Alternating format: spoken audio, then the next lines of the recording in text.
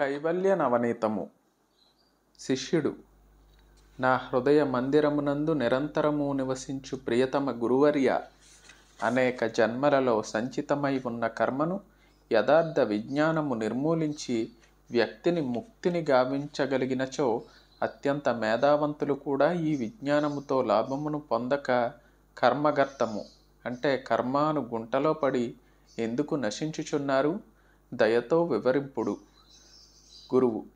కుమార అంతర్ముఖమైన మనస్సు కలవారు.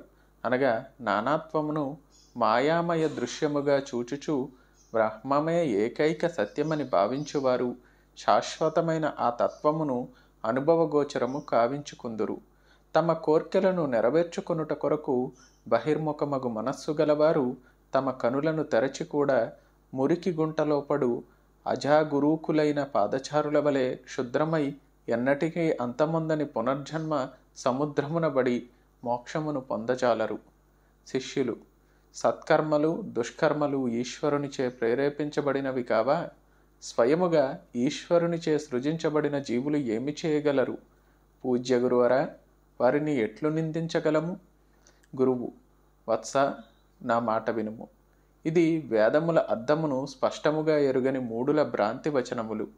సర్వశక్తి సంపన్నుడగు పరమేశ్వరుని సృష్టి జీవ సృష్టి భిన్నములుగా ఉండును. సర్వేశ్వరుని సృష్టి జగత్ సంబంధమైనది చరాచరములతో కూడినది.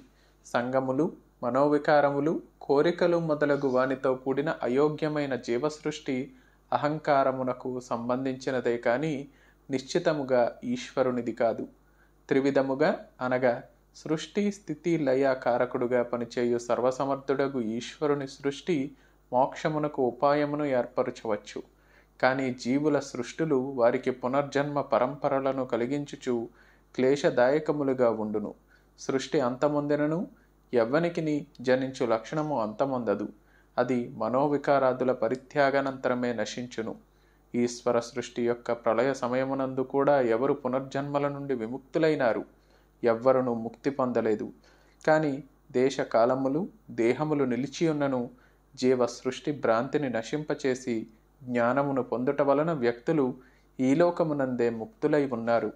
అందువలన బంధము భ్రాంతి స్పష్టముగా జీవుడు స్వయముగా కల్పించుకున్నవే కానీ ఈశ్వరుడు కల్పించినవి కావు.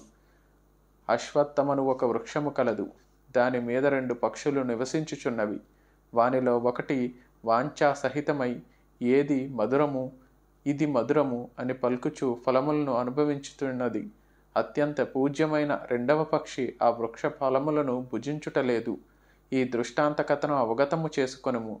దీని ద్వారా పవిత్రమైన వేదము జీవేశ్వరులను వర్ణించుచున్నది.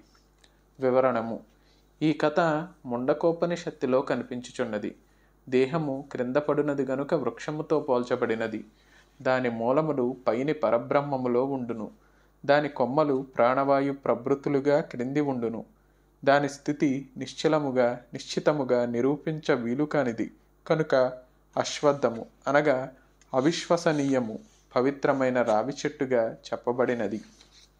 దాని ఉనికి అజ్ఞాన సహవర్తి గనుక సందిగ్ధము. తమ కర్మ ఫలములను అనుభవించుటకు జీవులకు శరీరము అవసరమగును. అందువలన శరీరము క్షేత్రమని చెప్పబడింది.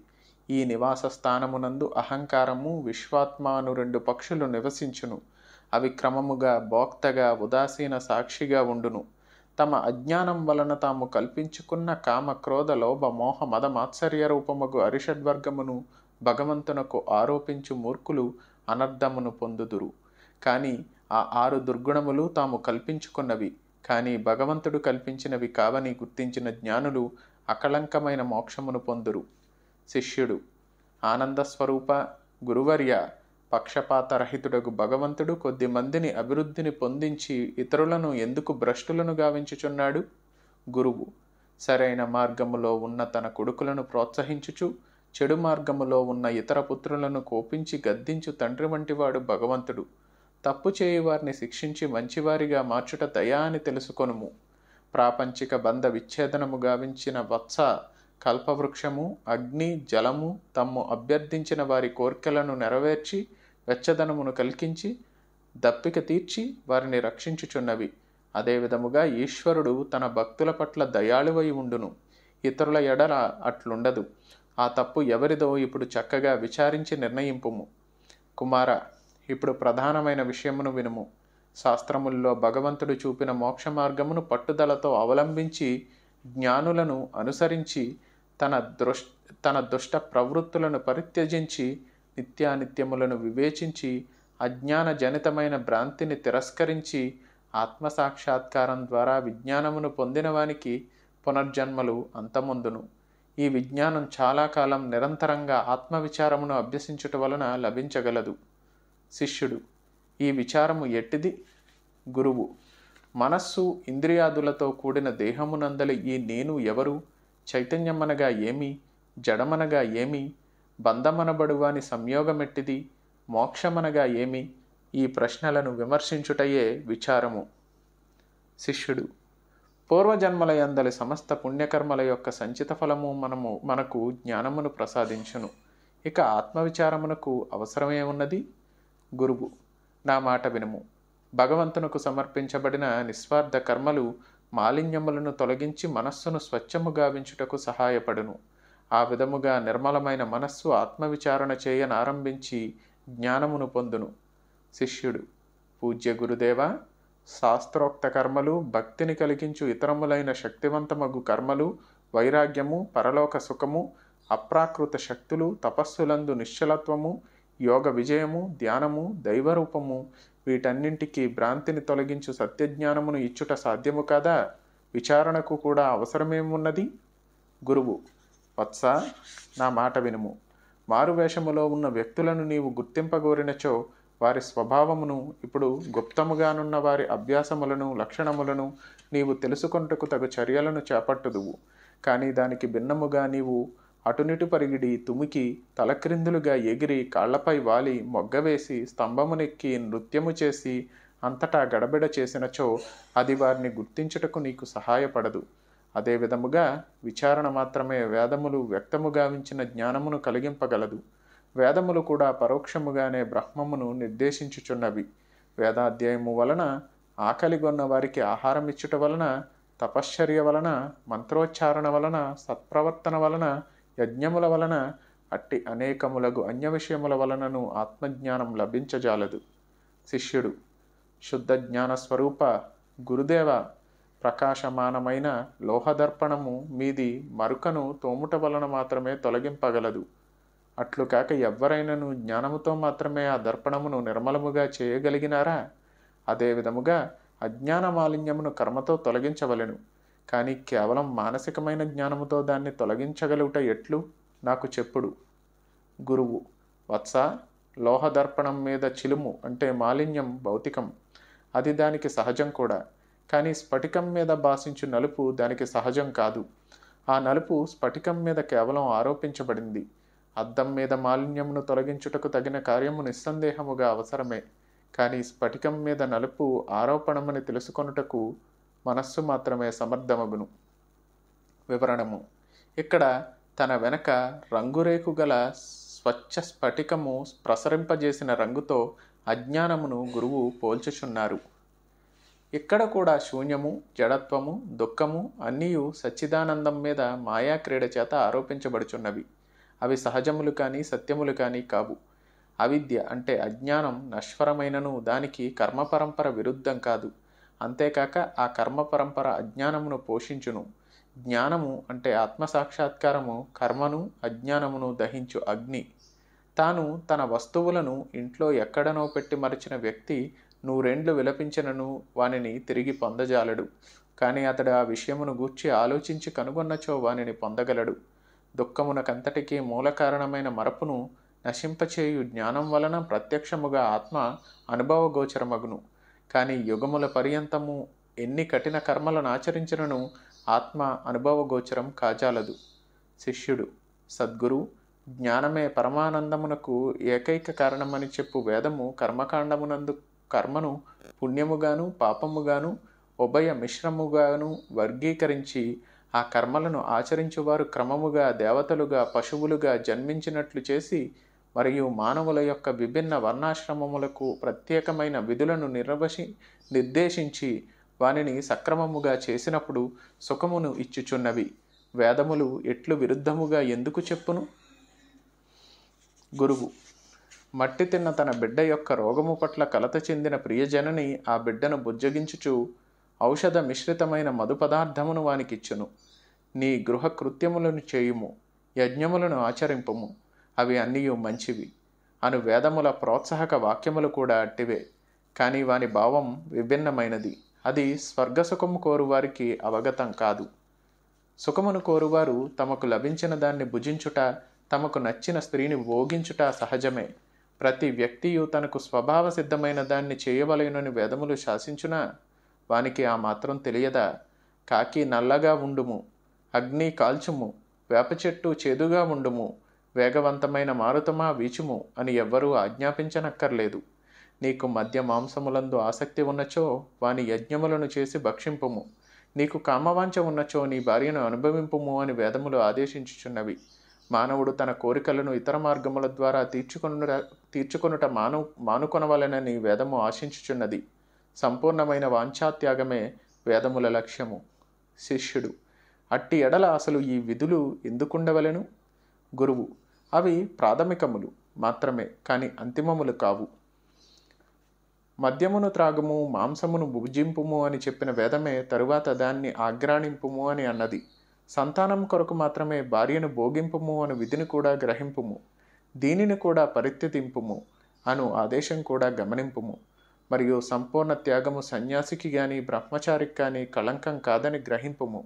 ఈ ప్రణాళికను సంపూర్ణముగా అర్థము చేసుకుని ఎట్టి కర్మాసక్తినైనను పరిత్యజించినచో నీవు మోక్షమును పొందగలవు.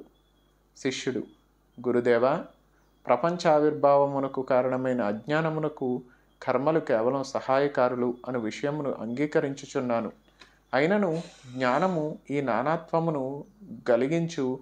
అజ్ఞానమునకు విరుద్ధమైనచో అట్టి అజ్ఞానము చంద్రునిలో మచ్చవలే నిర్మలమైన జ్ఞానముతో కలిసి ఉండి ఎట్లు ఈ సృష్టిని కలిగించుచున్నది? గురువు వత్స స్వయం ప్రకాశమైన జ్ఞానమునకు రెండు దశలున్నవి. శుద్ధ జ్ఞానము స్వరూప జ్ఞానము వృత్తి జ్ఞానము. మొదటిది రెండవదిగా అభివ్యక్తమగును. కావున అవి పరస్పర విరుద్ధములు కావు. గాఢ నిద్రలో శుద్ధ జ్ఞానము అజ్ఞానములకు విరుద్ధము కాదని నీవు తెలుసుకొని ఉన్నావు. శుద్ధ జ్ఞానం మీద ఆధారపడి ఉన్న అజ్ఞానమును వృత్తి జ్ఞానం దహించి వేయును. వివరణము. సర్వవ్యాపకమయ్యి నిశ్చలమైన జ్ఞానము స్వరూప జ్ఞానము నిర్దిష్టమైన లేక ప్రత్యేకమైన జ్ఞానము వృత్తి జ్ఞానము స్వరూప జ్ఞానమును ఇంధనములో కూడముగా ఉన్న దాహక శక్తితోనూ వృత్తి జ్ఞానమును ఇంధనమును భస్మము చేయుచూ మండుచున్న అగ్నితోనూ పోల్చవచ్చును. అంతేకాక ఈ రెండింటినీ క్రమముగా విద్యుత్ తంత్రిలో అభివ్యక్తముగా అవ్యక్తముగా నుండి విద్యుత్ ప్రవాహముతోనూ గాజు దీపము యొక్క సన్నని ఈనెలోనూ వెలుగుగా వ్యక్తమగు విద్యుత్ ప్రవాహముతోనూ పోల్చవచ్చు. శిష్యుడు కొలిమి తిత్తివలె విస్తరించి ముడుచుకుని పోవు మాయ శుద్ధ జ్ఞానముతో బాధించకబడకుండా ఉండి వృత్తి జ్ఞానముతో ఎట్లు దహించబడగలదు? గురువు సూర్యుడు సర్వ ప్రపంచమునందు ప్రకాశించుచు దాన్ని పోషించుచున్నప్పటికీ సూర్యకాంతమణియందు అగ్ని అయి దహించును. అదే విధముగా సమాధియందు వృత్తి జ్ఞానము అజ్ఞానమును దహించి వేయును. శిష్యుడు కర్మలలో మనో వాక్ కాయ వృ వృత్తులన్నీయు చేరును కదా? వృత్తి జ్ఞానము అంతఃకరణము యొక్క వ్యాపారము కాదా? అట్టి ఎడల కర్మ అజ్ఞానమును నశింపచేయునని చెప్పరాదా? అది జ్ఞానము అను అద్భుత నామముతో ఎందుకు వేరు చేయబడింది? దీనిని నాకు వివరింపుము. గురువు వృత్తి జ్ఞానం నిజంగానే మనోవృత్తియే కానీ ఒకే తల్లి యొక్క కొడుకులు తమలో తాము పోట్లాడుకొనుటకు మనం చూచి ఉన్నాం. కర్మలు కర్తకు సంబంధించినవి కానీ విచారం వలన కలిగిన జ్ఞానము ఆ వ్యక్తికి సంబంధించినది కాదు. అనగా పురుష తంత్రము కాదు అది వస్తువుకు జ్ఞేయ వస్తువుకు సంబంధించినది. అనగా వస్తుతంత్రము. విధులను చేయవచ్చును చేయకపోవచ్చును లేక వేరుగా చేయవచ్చును. కానీ పరమజ్ఞానం అట్టిది కాజాలదు. అహం బ్రహ్మాస్మి వంటి ధ్యానము విచారమునే లభించిన జ్ఞానము కంటే నిశ్చితముగా విభిన్నమే. ఒక వస్తువును మరొక వస్తువుగా గ్రహించుట ప్రయత్నపూర్వకమైన యోగము. ప్రత్యక్ష జ్ఞానం మాత్రమే సత్యము కాగలదు. కాల్పనికములైన భావనలతో మోసపోకుము. వివరణము. నిర్గుణ బ్రహ్మధ్యానం కూడా నిర్దేశించిన విధముగా చేయవచ్చు వదిలివేయవచ్చు. లేక వ్యక్తి ఇచ్ఛానుసారం చేయవచ్చు. ఆ ధ్యానము జ్ఞానము జ్ఞేయ వస్తువునకు సహజమైనట్లు మానవునకు సహజం కాదు. అనేక విధములైన ధ్యానములున్నవి. అట్టి ఒక ధ్యానములో శంఖ చక్ర గదా పద్మధారి అయిన చతుర్భుజుడగు విష్ణువును సూచించుటకై సాలగ్రామం ఉద్దేశించబడింది. ఈ ధ్యానము ప్రయత్నకృతమైనను ఫలప్రదమే. ప్రత్యక్ష జ్ఞానమనగా అనుభవంతో లభించిన జ్ఞానం. జ్ఞానం ప్రత్యక్ష అనుభవ ఫలితం. కానీ ధ్యానం విన్నటువంటి ఒక వస్తువు యొక్క మానసిక కల్పన మాత్రమే. ఇతరుల వలన విన్నది స్మృతి నుండి చెరగిపోవును కానీ అనుభవగోచరమైనది అట్లు చెరిగిపోదు. అందువలన అనుభవగోచరమైనది మాత్రమే సత్యము కానీ ధ్యానించబడిన విషయాలు సత్యములు కావు. జ్ఞానము అజ్ఞానమును కనిపించగానే నశింపచేయను కానీ కర్మ నశింపచేయదు. అసత్య ధ్యానము సత్యమైన అంతిమమైన మోక్షమును ప్రసాదింపగలదను విషయమును సందేహించవద్దు. నా మాట వినుము. వినికిడి వలన ధ్యానించబడు విగ్రహము ధ్యాన సమయంలో సత్యం కాదు. కానీ రూపం ధరించి ప్రత్యక్షముగా కనిపించినప్పుడు అది సత్యమగును. వివరణము. ధ్యాన దశకు చెందిన అహం బ్రహ్మాస్మి అనున్నది సత్యము కాదు. కానీ ధ్యానం వలన కలుగు అహం బ్రహ్మాస్మి అనుభవము మాత్రం సత్యమని తాత్పర్యం. అసత్య ధ్యానము సత్యము. శాశ్వతమైన మోక్షమును ఎట్లు కలిగించును? అని నీవు అడిగినచో దానికి సమాధానం ఇది ప్రతి వ్యక్తి తన పూర్వజన్మ యొక్క అంతిమ భావనను అనుసరించి తిరిగి జన్మించును. వ్యక్తులు తాము ధ్యానించే రూపముల్లో మరల పుట్టుదురు. కానీ ఏ విధమైన పునర్జన్మనైనను నశింపచేసుకొనవలనను ఉద్దేశముతో వ్యక్తి ఆత్మను ధ్యానించినచో అప్పుడు అతడు ఆత్మ అగును ఇది నిశ్చితము సంశయరహితము. శిష్యుడు మానవ రూపధారియగు గురుదేవ గుణరహితమైన బ్రహ్మను ధ్యానించువారు ఆ నిర్గుణ బ్రహ్మమైనచో విచారమునకు గాని జ్ఞానమునకు గాని అవసరమేమున్నది? గురువు బ్రహ్మధ్యానము వినికిడి మీద ఆధారపడినది అనగా పరోక్షము. అయినను అది కాలక్రమమున అనుభవ సత్యమగును. ఈ అనుభవము శాశ్వతమైన విచారము అజ్ఞానము నశింపచేయు జ్ఞానము లేక మోక్షము అనబడును. ఇది అంతిమ నిర్ణయము అనగా సిద్ధాంతము. శిష్యుడు వృత్తి జ్ఞానము అజ్ఞానమును నశింపచేసిన తరువాత పరిపూర్ణముగు ఆత్మయందు శేషించి ఉన్న ఎడల అఖండానుభవ సిద్ధి ఎట్లు ఉండగలదు? గురువు చిల్లగింజ పొడి నీటి ఎందలి మాలిన్యములను అడుగునకు తీసుకొని పోయి దానితో కలిసి అట్లే అక్కడ నిలిచిపోయినట్లు వృత్తి జ్ఞానం కూడా అజ్ఞానమును నశింపచేసి దానితో తాను కూడా నశించును. శిష్యుడు మంచిది. జీవన్ముక్తులైన జ్ఞానుల స్వభావం ఎట్టిది? గురువు వారు ఆలోచనారహితులు గనక వివాదాస్పదుడు కానీ ప్రభుల ప్రభువుల వలె కానీ శిశువు వలె కానీ ఆనందముగా నుందురు. వారికి బంధ మోక్ష భావములు పూర్తిగా అదృశ్యమగును. ఆ మేరకు వారు అట్టి విషయములను గూర్చి మాట్లాడు వారిని చూచి పరిహసింతురు. ఎలా అనగా దోమ ఆకాశమును మింగి వెడలగక్కిన దాని చెప్పువారిని చూచి జనులు పరిహసించరా? గొడ్రాలి కొడుకు స్థాణువులోని జనుడు కలిసి ఆకాశమున సేకరించబడిన పుష్పములను ధరించి గంధర్వ నగరమునందు ముత్యపు చిప్పలోని వెండి ధర వెండి ధర విషయమున జగడమాడి కుందేటి కొమ్ములను ఆయుధములుగా ధరించి యుద్ధము చేసి ఒకరినొకరు పొడుచుకుని కలిసి మరణించి పిశాచములుగా మారిరి. బుద్ధివంతుడైన వాడెవడను ఈ కథను విని కుతూహలము పొందడు. ఇది ఒక కల్పిత కథ. జ్ఞానికి ప్రపంచము దాని వ్యవహారములు ఈ కథ వంటివే. మాయయే అసత్యం కనుక దాని సృష్టి అంతయు అదే విధముగా అసత్యమై ఉండవలను. సంతానము తల్లి కంటే భిన్నముగా ఉండగలదా? అందువలన స్వర్గము కానీ నరకము కానీ మంచిని గాని చెడును గాని లక్ష్య పెట్టకుండా సచ్చిదానందపూర్ణముగు ఆత్మగా ఉండుము. శిష్యుడు ప్రభు పద్మాసనుడగు బ్రహ్మ తదితర దేవతలు ప్రపంచములోని గొప్ప వ్యక్తులు గంగ వంటి పుణ్య నదులు తీర్థములు పుణ్య సందర్భములు షడంగములతో కూడిన చతుర్వేదములు మంత్రములు తపస్సులు ఇవి అన్నీ అసత్యములని నిరాకరించుట దైవదూషణము కాదా? చెప్పుడు. గురువు స్వప్న దృశ్యములను అసత్యములని నిరాకరించుట దేవతా దూషణమైనచో భ్రాంతి వలన అస్తిత్వమును పొందు ప్రపంచమును నిరాకరించుట కూడా దేవతా దోషణమగును.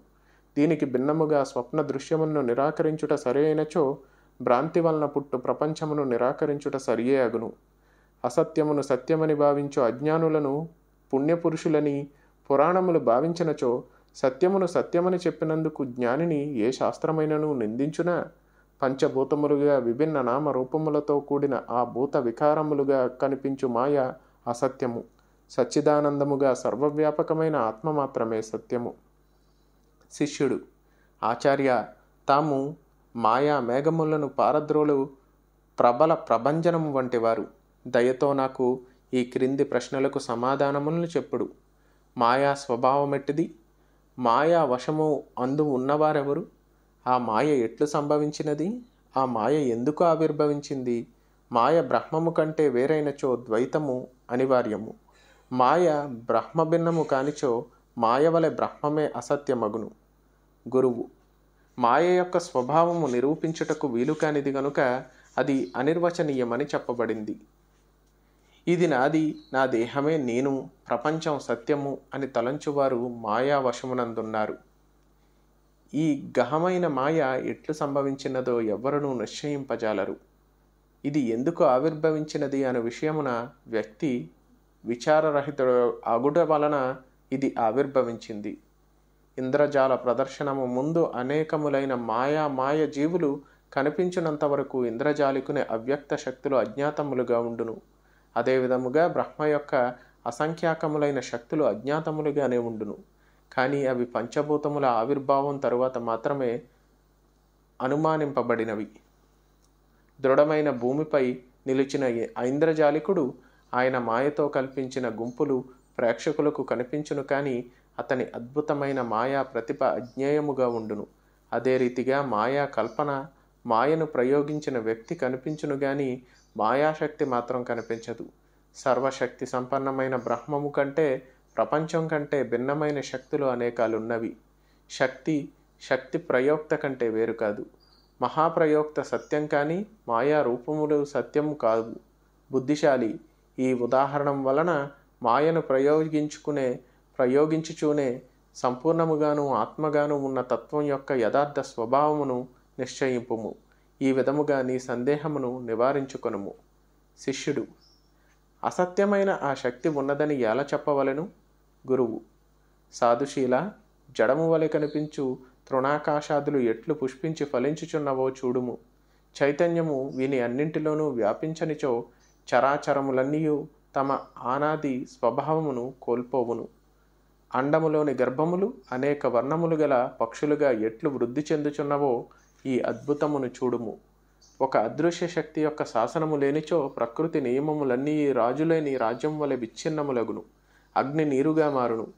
చేదైన వస్తువు మధురమగును. నీచులు వేదములను పఠింతురు. నిశ్చముల నిశ్చలములైన పర్వత పంక్తులు మేఘముల వలె గాలిలో తేలును. సముద్రములన్నీయు ఎడారులగును ఎక్కడను స్థిరత్వము ఉండదు.